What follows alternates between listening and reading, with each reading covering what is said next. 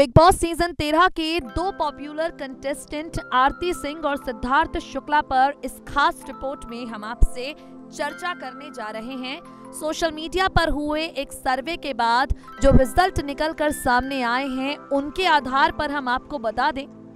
सिद्धार्थ शुक्ला और आरती सिंह को most deserving winner लोगों ने बताना शुरू कर दिया है। सिद्धार्थ शुक्ला और आरती सिंह को लोग कह रहे हैं विनर बनने के सबसे ज़्यादा काबिल हैं। सबसे पहले आपको बताते हैं, आरती सिंह की तारीफ़ में करण सिंह ग्रोवर ने क्या कहा।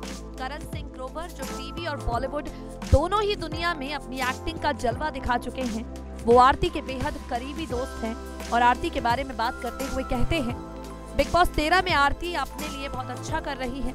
उसने हमेशा दिल से अपना गेम खेला है। अकेले गेम खेलना अपने आप में बड़ी चीज़ है। आरती को जो लोग शुरुआत से देख रहे हैं, उन्हें ज़रूर पता होगा कि आरती ने हमेशा अपनी रियल पर्सनैलिटी दिखाई और जो दूसरे लोग शो में कर रहे हैं, उसने वैसा कुछ नहीं किया। करण सिंह ग्रोवर आरती के बेहद करीब रहे हैं। आरती करण को अपने जिगर का टुकड़ा कहती हैं और करण बिग बॉस के घर के बाहर आरती को शो का असली विनर बता रहे हैं। सिद्धार्थ शुक्ला की अगर बात करें तो सिद्धार्थ शुक्ला की तारीफें करते हुए बिग बॉस के एक्स विनर बिंदु दारा सिंह नहीं थक रहे।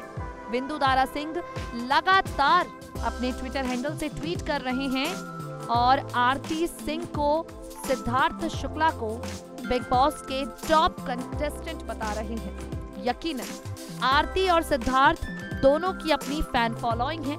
ये दोनों बड़ा नाम है और जिस तरह से इनके विनर बनने को लेकर खबर आ रही है।